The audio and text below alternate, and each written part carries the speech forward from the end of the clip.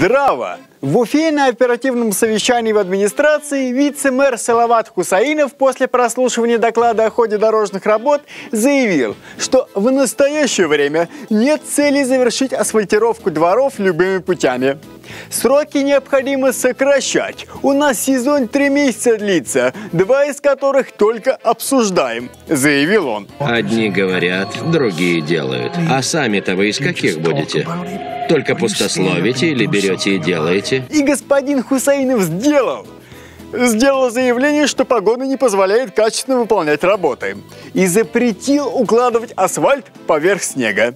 Так и сказал. Я запрещаю укладывать асфальт в дождь и снег. Раньше было можно, сейчас нельзя. У них недавно ЧП здесь было. Произошло это не так давно в одном из дворов на улице Мубарякова.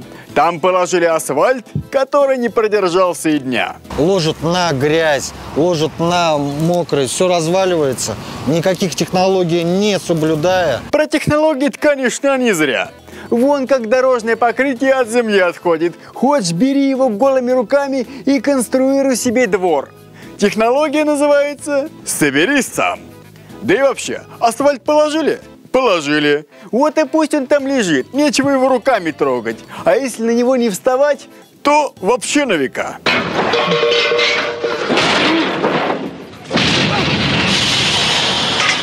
И такие вот технологии не только в Уфе, не только в республике, но и по всей стране. Видео в сети предостаточно. Но теперь, похоже, у нас в городе все пойдет как по маслу. А может пойти дальше и стоит вообще запретить делать плохие дороги, а заодно позапрещать всякого нехорошего, а то у нас, видимо, не все в курсе. До скорых встреч!